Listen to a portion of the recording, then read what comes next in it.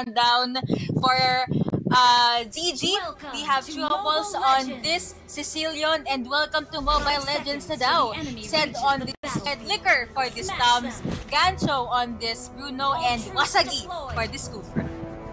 For the side of San Fernando City, Pampanga, we have ADX for the Angela, Zeno for the Valir, Pix for the Grok, Owl for the Ling, and Scent for that couple and Pupa. Early game time, tignan natin kung ano magiging, magiging laro ng San Fernando City dito. San Fernando City dito. Meron silang Grok but they did not actually go for an invade. Instead, they are actually playing passive in here. Actually, both of the teams are quite... Uy, ang aga naman ng flicker na yun! Parang hindi na yun necessary ah. Kasi It wasn't. Yeah. Ano eh, hindi naman siya mamamatay. But I mean, the damage from Bling is not even enough yet to kill him. Maybe Gurakis, pero we didn't actually see San Fernando City going for an all-in on that mid lane na fight or uh, poke. So, I think sinasayang ng talaga. Oo. Ay, pero teka lang, na nga ang mga first blood pa nga dito ay ang uh, Team San Pablo City. Yuko, what can we say about that? Mabilis si tatlo bigla yung nag-press, nag-pressure sa kanya dito. And that is Balir, ang solid support from Fernando City. If you can take out the core or the marksman, might as well try to target the support. And nakita naman natin dito, medyo mahirapan maka-ramp up ng damage or makapag-level up agad si Valir dito. Kufra, bouncing ball, wag ka mo nang gumalaw dyan, Brock. Pero of course, dalawang tangke yan, tamang hi, hello lang muna. Bruno trying to get this top lane crab. Pero nice wall coming in from guy. Walang pumasok si dito. Ling tamang walling lang dyan, Angela. Wala pa siyang ultimate so maybe hindi pa papalag ang blue team natin dito. Definitely hindi pa muna 4-1 ang ating matchup ngayon pero I think we have some focus still ongoing on the top. They will be backing away and going back to their own jungle. So definitely kasi alam natin kailangan ng pera itong si Lin pero ganap ata sa top lane. Ano ba to, Yuko? Ako po, may nasisi pero napag-flicker out din naman. Safe, safe. Muntik na yon though. Feeling ko pag naboxing siya doon, could have costed them a life. Pero whoops, yung sisi ni Balito, yung first kill niya, nakita bigla ang nagtatago sa bush. Um, Popol and Koopa, gonna go back. And Bruno just minding his own business sa mid lane dito. Tamang farm-farm lang muna. Um, mas nagte-take time yung series number 3 natin dito unlike yung 1 and 2 na the moment na pumatak yung level 3 or meron isa or dalawang level 4 sa team nila, uh-huh. nag-rotate na agad. And gusto ko i-highlight yung sabi mo kanina, Madam Kaysaya, na may Grok yung blue team pero hindi sila nag-invade. I highly yeah, recommend no? na pag may Grok kayo, please try to invade. If hindi kaya, Oo, then what? take But, advantage nyo. Yeah, yeah. The, the option is there kasi yung yung power of nature ni Grok, yung hampas ng lumpia niya dyan. Napakasakit. Pero kasi yung napakasakit ng Ultimate Sicilian dito, muntik na makuha si Valir. Valir is forced to go back and Brock with that amazing skin. So, okay, na-highlight ko yung skin. Napakaganda kasi talaga. Sinarge mo na power of nature. Meron silang toilets dito. Pero ako po, nagkita ang dalawang sa top lane and bilang pumasok si Ling dito, makakapitas mo lang isa ng ultimate na nga dito. Gets immobilized, receiving a lot of damage and that is a dead Zohed from the side of San, San Pablo City light of hope para sa San Fernando City. Kaya pa nila makabawi in terms of cold lead and snowball pero mukhang may maling position ng ating Brock dito. Medyo overextended siya, overstay siya. Wala siyang kalapit na kakampi pero buti na lamang nga dahil may Angela sila doon. Nakasanib pa. Alam mo yung mga sayang sanib na masasabi ko, no? But na, hindi naman totally sayang kasi nakasagip siya ng buhay. Pero feeling ko may mas magandang clash siya na pwedeng paggamitan yun dito ng blue side is intayin mo nilang matapos yung cooldown. Usually pag ganito, 60 seconds or 50 seconds yung cooldown sa mm-hmm. Angel eh. Nag, ginamit dito yung uh, Guardian's Barrier. He did not get the uh, crab coin though. But tayo sa top lane dito. Ako po, napapansin ko ah, madalas nababa yung buhay ng Valir dito. Valir is very, very special. Siguro Uy, napush na nga yung fact na Wait, nag-charge ang first skill. Pumasok bila si Supra, pero nag-disengage agad. Kinagad ni Silvio dito naka yung skill shots kami from Balir. Napakalutot naman. Nabakit si Supra. He gets taken out. And Reting biglang tumalon. Double kill coming over sa Bruno natin dito. That was a 2 for 1 in favor of San Pablo City. Ling decides to join the party. Wala ka muna marksman ngayon. And napatay na nga si Bruno. Joy will be forced to go back. Magandang revenge kill yon. Bawing-bawi. And here at the bot lane, tamang kagat lang ang pet ni Popol and ni Popol with that Ling targeting that turtle. Second skill ni Sujan bila nilabas. Ako po na ejector pa nga but Ling was able to secure the turtle and nice timing sa shield ni Angela dito. In fairness ha, si Angela si A ADEX, AEDX, Adex. Hadex, he knows when to jump in. Protektadong protektado yung mga sinasaniban niya. And imagine if hindi sumanib si Angela nun, Ling might not be able to secure the turtle or he might not even be able to get out of there alive. Pero kung tama ko lang muna ng buff dito, siya dyan in the first kill. Akala ko nang bouncing ball mode siya. Ginamit na ako Inferno naman ang siling dito bigla na wala si Tam tsaka po nasal bigla si Wasagi ano gagawin ng San Pablo City dito they are receiving a lot of damage. Naka double kill si Popol and Kuba Joy being chased by Liz Brock pero yung minsan kasi may ano di ba uh, movement speed. Bigla bumibilis yung takbo ni Johed. So he is able to escape. Pero I think pinipressure pa rin siya sa top lane. Na-stun ako po. Ginamit ni Angela ang kanyang second skill but nawala. Pumutok. Paalam Angela Staples have turned around. Lumamang ito in favor of San Fernando City pero mukhang gustong gawin yun ng San Pablo City dahil they were able to get the Angela on the top lane. Dahil napakasakit ng isang damage ng isang Bruno sa Torre. Kita mo naman, konting pitik lang. Less than half-life na yung Torre natin sa top lane. But you know what? Kahit lamang San Fernando City dito, I believe that they still have to be very careful sa San Pablo City kasi San Pablo City is actually playing objectively. Sakto, killing spree. Bigla sa link dito. And, na-mention mo na mahapdi na or pumuputok na yung critical ng Bruno dito. But, it could still go anyway. Kasi I guess, mas may slight advantage yung draft ng San Fernando City dito just because, just because meron silang Angela. Yung shielding for days yan. Joy bilang tinagay dito si Pua Point Kuma. Pero here at the bot lane, napakasakit naman yung hampas na yon. Sicilian down to, to half of his health. Pero napatay ni Paul and Kupa si Johe dun sa top lane. The 1v1 looks like went well sa blue side natin. And Turtle being secured by San Fernando City. Nakapatay, nakuha ng objective, and nakuha pa yung Turtle. And now they are just pressuring the mid lane. Popol and Kupa getting the top lane third as well. Familiar sa akin to eh, yung Popol and Kupa na off lane. Parang hindi siya ganun sumasama sa class. Usually mga 1v1 or tiga kuha ka lang talaga. Uy! Pero wait, mukhang napakulit na nangyari dito. Megil coming in over sa lane natin dito. Sam's forced to go back. Pero na-shutdown bigla ni Bruno dito si ate mo Ling, si kuya mo Ling. Pero tumulong dito. But of course, that is a Valir. Kayang-kaya niya itulok palayo. Joy trying to death this top lane turret. Pero the damage or the pressure from Popol and Koopa is just too much. Another turret down sa top lane dito. Five turrets taken out by San Fernando City while sa San Pablo, they were only able to take out one. Isa lang ang mapapansin mong ginagawa ng Popolin Kupa dito eh, no? Hindi talaga sasama sa clash, talagang taga-push lang siya. And yung 3 kills na meron siya, dahil to sa mga nag-e-engage lang sa kanya, he's not, actually, he's not actually looking for a fight. Kung may fight na lumaban sa kanya, edi sige, makipaglaban siya. Anyway, meron naman siya kasamang aso doon or wolf. 'di ba? Na kayang ah, mag-deal ng damage and at the same time the traps that he can place sa mapa to deal or to do some crowd control. Pero ito na nga, we can see San Pablo City still trying to play just objectively. Medyo focus lang tayo sa Torre. Sige, iwas tayo sa team fights kung saan nila tayo pwede makita. Kasi ang sakit na niling eh. 4-1-2 guys ang kanyang score dito and lamang ang San Fernando City on the 3K gold. Isa pa sa makikita nyo guys, wala ring dalawa eh. Dalawa pwedeng sumegoy dito sa San Fernando City. The Popolin Kupa as well as itong si Ling. Si Ling, it doesn't matter kahit ma- makisegue siya. Kasi nga, ang bilis niya na makabackup eh. Para siyang funny. Diba? Na kailangan lang ng energy para makatalon-talon sa mga walls, para makabackup agad sa team fights. But for the meantime, we can see that the players are waiting for the right time before they go engage into a fight. The Lord is available. No one is gonna take it because everyone is alive. They will just want to play it safe, just like how the game itself started.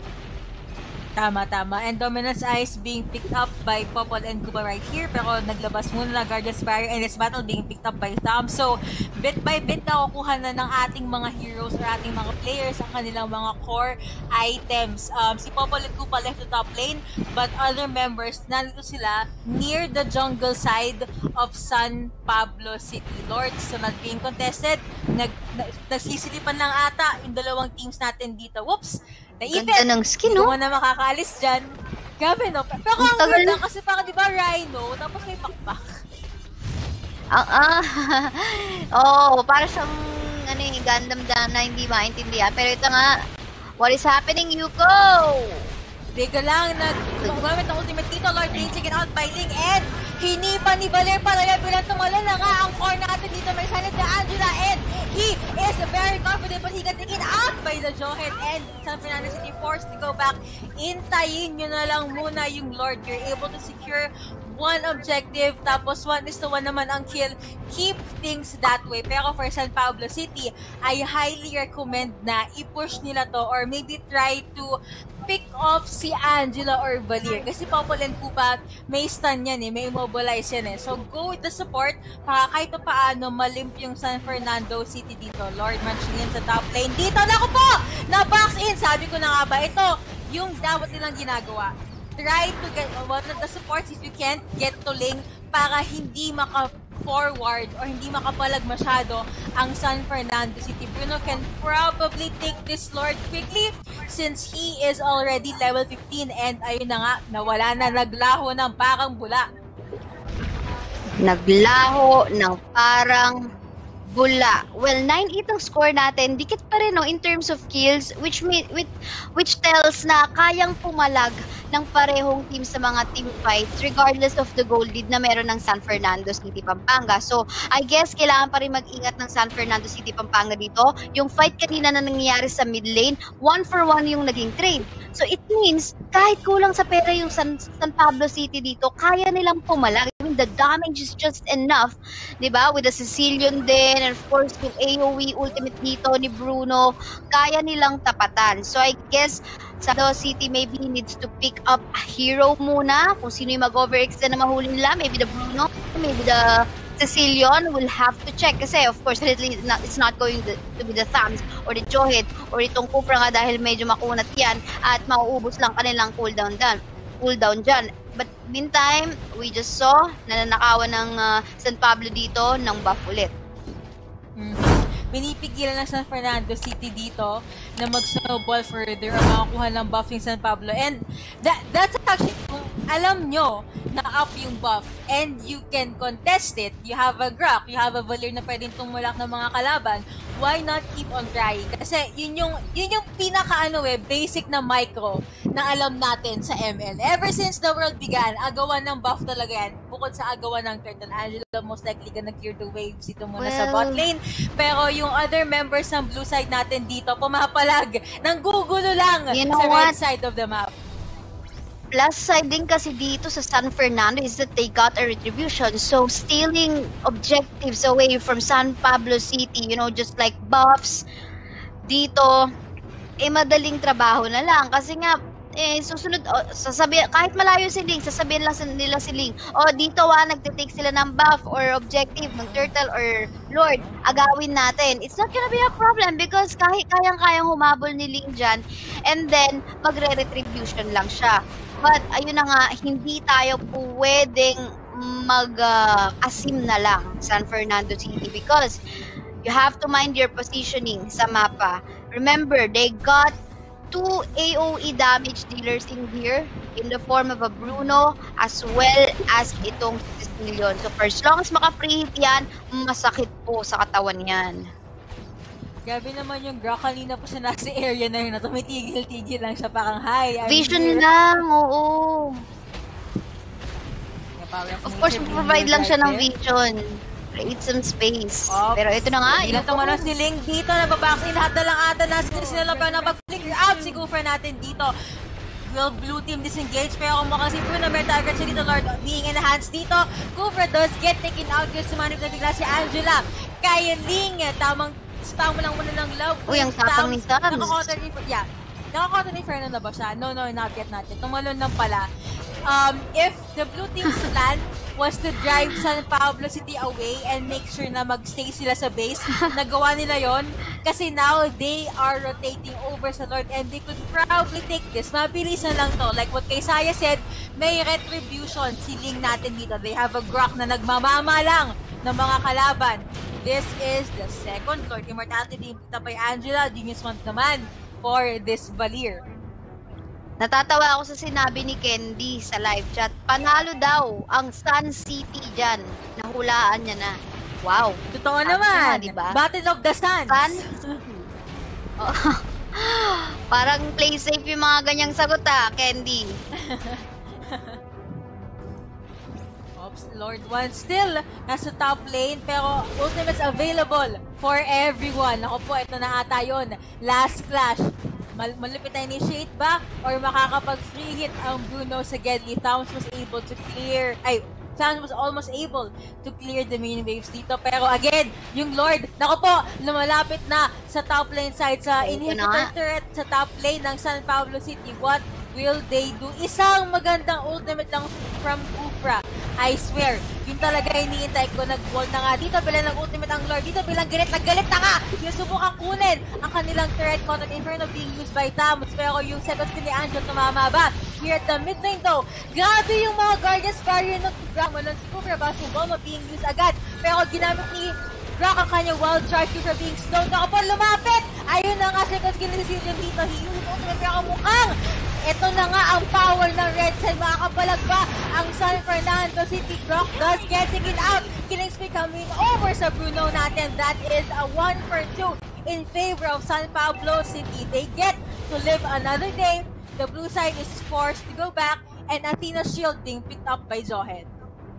Imagine mo yon nanlalampot itong si Graf natin sa critical hit at burst damage ng Bruno tsaka ng Cecilion. Napakasakit. I mean, I think maybe San Fernando overstayed uh, doon malapit sa base ng San Pablo City. Hindi na nila na-consider yung damage output na meron yung Bruno dito. Tignan mo naman 6-1 main, di ba? Habol na habol in terms of items and gold. Naku.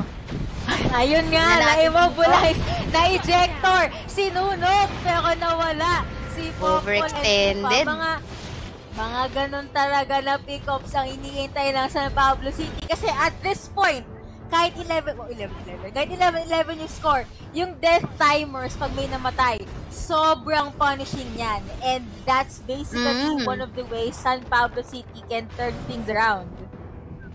Eto na nga, Yuko, naghahanap ka ng ano lang, ng same level match. Parang itong San Fernando City at San Pablo City magka-level eh. Kasi tignan mo, pareho silang 11 kills and yung Gold League naman, 50k sila pareho. Well, halos wala nang ang bilang yung gold niyan kasi lahat sila level 15 na and almost complete items na rin lahat.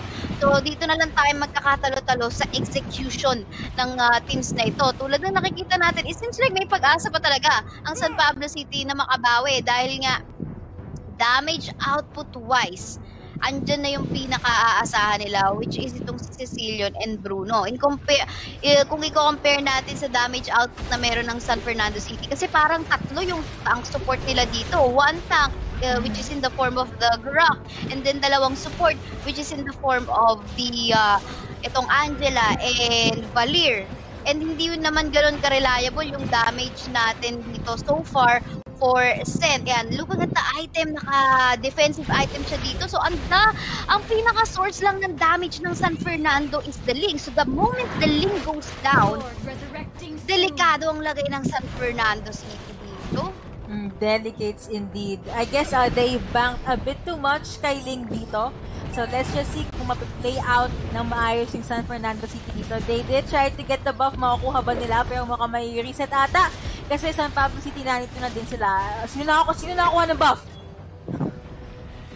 Did Bruno get the buff? I think napunta ito kay ano eh, kay Bruno eh. Ayun no, ang dami niyang oh. ilaw eh. Madami ano, madami ano Forest. Si Gancho. Oh. Ikaw ah, nang gancho ka.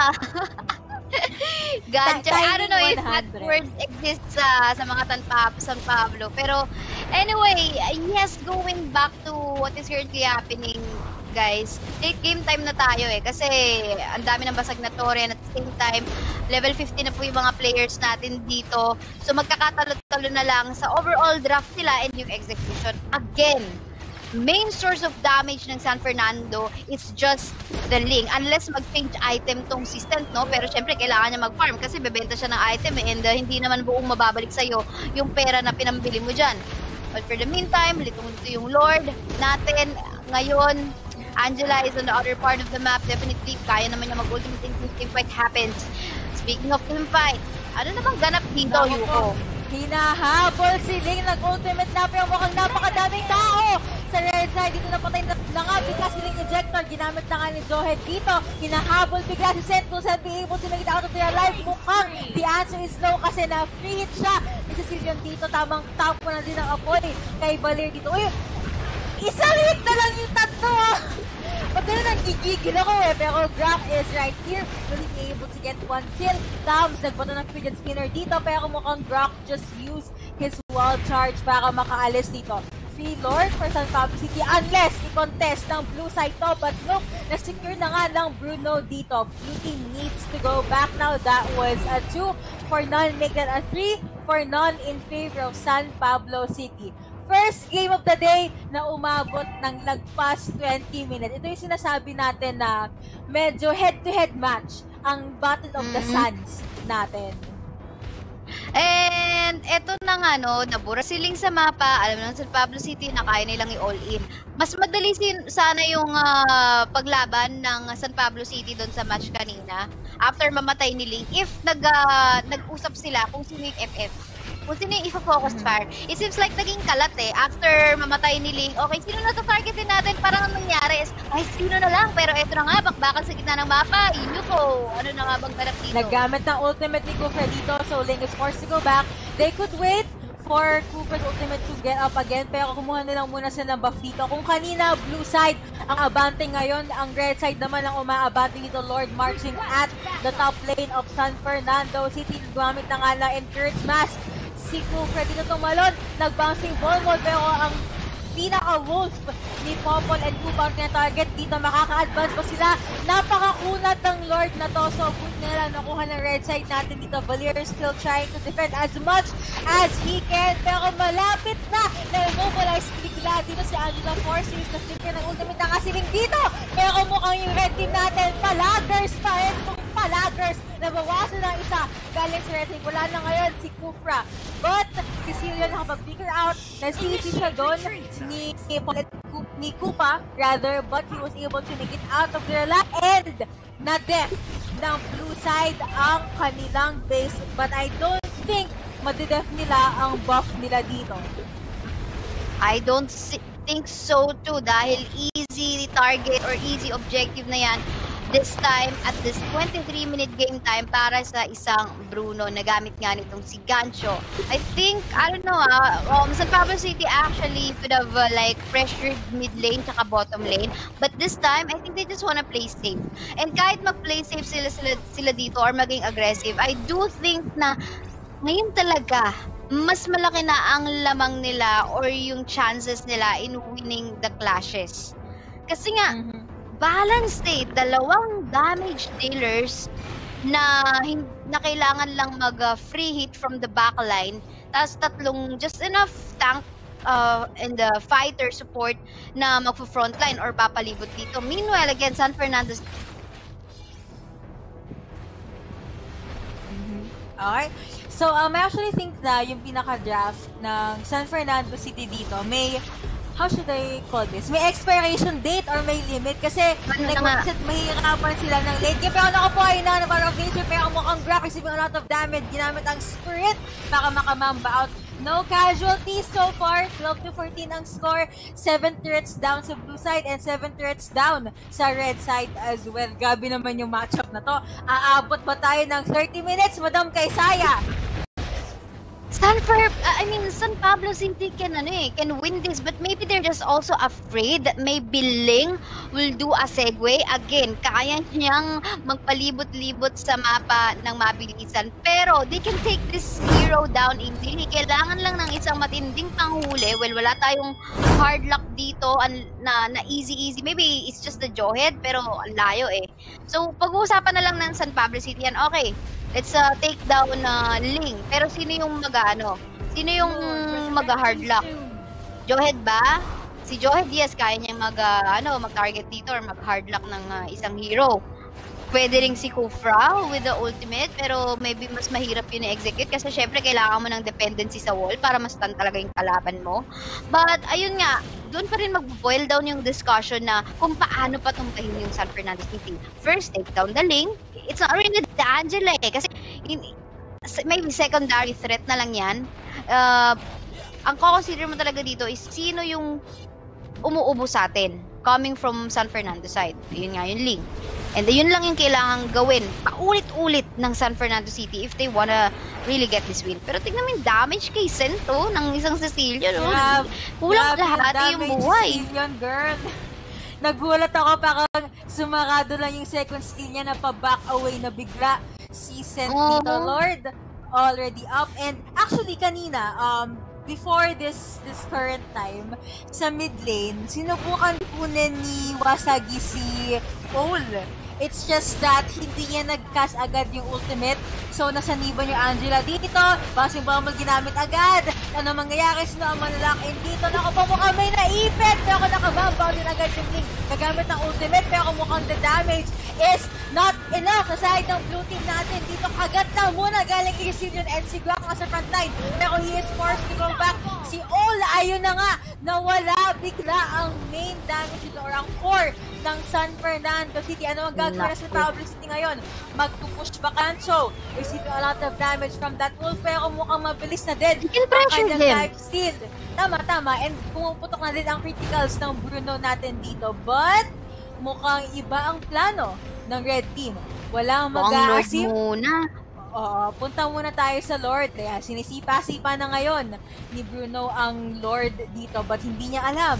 Si Grok nasa Geddy lang, anti-grass being picked up by Tom City. Al- alam niya siguro yan, hindi niya lang eh, no? napansin. Kasi confident dito eh. Although walang retribution ng San Pablo City, patay naman si Ling from the side of San Fernando City. So walang aaga, walang high potential namang agaw. Pero ito na nga, Yuko, take it away. Oh, mukhang nagago na kasulina pero na wala si Valir. Dito sending chase down. Chobos got immobilized. Pero kung po hindi tumama ang kanya second skill sa Santon. Bigla si Bruno dito. And mambout muna kay Sylvian. Brock decides to join the party. Angela may immortality pa dito. Naka-mega kill bigla. Ang si Sylvian natin. Kapag ganit na ganit dalawang team natin. Na immobilized din ginamit ang ultimate Chobos. Ano ang gagawin mo ngayon? Hello! Sabi ni Angela sa Santon. Bigla dito. But Link got taken out as well by the Supra. Picks forced to go back and the red team. Sige, kunin mo natin ang buff dito, tsaka tayo mag-lord. That was a 3 for 2 in favor of San Pablo City. Grabe! Galit na galit ang team natin ngayon. Angela went to the top lane para mag-clear ang minion wave dito. Troubles got that immortality. Whoa, 30 minute game time almost, Yuko alitan na ng kills, napakadikit ng laban dito. Mukhang gusto nilang paabuti ng 100, 100k yung gold na hawak nilang ipa-farm dito, ah. Oo nga, no? Ay, 7k na lang, oh. Pero alam mo yung talaga eh, yung talaga yung nakikita ko eh. The moment na down si Cecilion, talagang kailangan i-take advantage ng San Pablo City dito. The, the, the problem right now is that basta okay, naging down na si Cecilion, hindi pa nila tinitake advantage hindi nila tinatake advantage. Siguro dahil nga, okay, we understand kasi kulang na yung kulang na yung buhay ng ano, ng uh, mga tank support natin from San Pablo City. And looking, I think, yes, indeed, it's still just Cecilion that is the damage dealer of San Fernando City. Nako, full item na tayo lahat-lahat na, Yuko. And si Ling, oh, tignan mo na sa taas, may segue, oh may sumasegue na link dito pero ang ibang members nasa Lord area pa rin. Also, gusto ko lang i-commend yung Grak doon kanina. Yung wall-in niya, yun yung reason kung bakit hindi namatay yung teammate niya. Bukang, ginigising, tapos pinapatulog ang Panginoon again and again. again and again and again. And makikita natin dito, tinanggal na ata ng San Pablo City yung mask din nila. No? So, hindi na nila kailangan.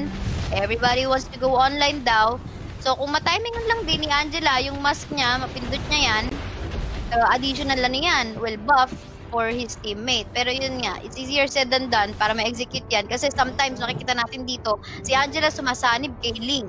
And sometimes si Ling, na, na, napapatay lang din agad. Kasi alam, alam natin na malambot ang isang Ling eh, di ba? Yes, good damage, but sobrang lambot kapag na-FF siya.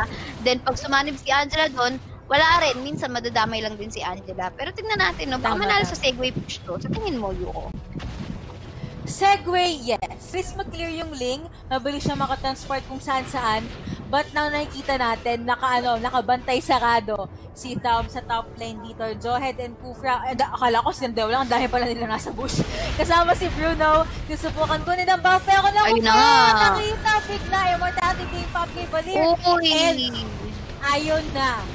60 seconds Bawas. timer ng Valir natin dito and they were able to get the buff as well. Grok, medyo malayo ka sa teammates mo. I think they tried to get the buff. I don't know, Cecilion. Grabe yung timer sa output! eh. Ultimate. Nice na nga. tumalon. And it lang bashing bomb out, but medyo nagbamba out muna. Lumayo muna ang red team natin dito. They are getting the mid lane threat. Nakuha na kanila dito. Grok being box in. He used the wild charge just to make sure na makakali siya ng buhay. Pero he barely made it out of there either way. May I think this is gonna be it. And eto na nga ata yun. Pero yung link, tumalon. Ano ang mangyayari sa susunod? Na Naku ejector! Naku po! Ayun na nga nakuha si Ming. Napatay, napatay din Bruno dito. Was, at that was a 2 for none in of San Pablo City. Patience is a virtue. Their hard work is now paying off. They're Alam mo, alam mo, alam mo, alam mo, next Yuko. move. Ano yan, ano yan, ano Sabi yan? ko, ito na to eh. Ito na to eh. May minion wave na sila sa gitna. Pero sinamantala pa nila. Kaya nilang i-full FF na yung base doon. Pero ito nga, Yuko, go ahead. Palag-palag, tumalong mula si Tufa dito. And well, ito, ito. Nag-focus na lang sa base. And game on goes over to San Pablo City. Victory! yung game na yun, ah. yun lang ang grabe nasabi game ko. lang yun. Game 1 lang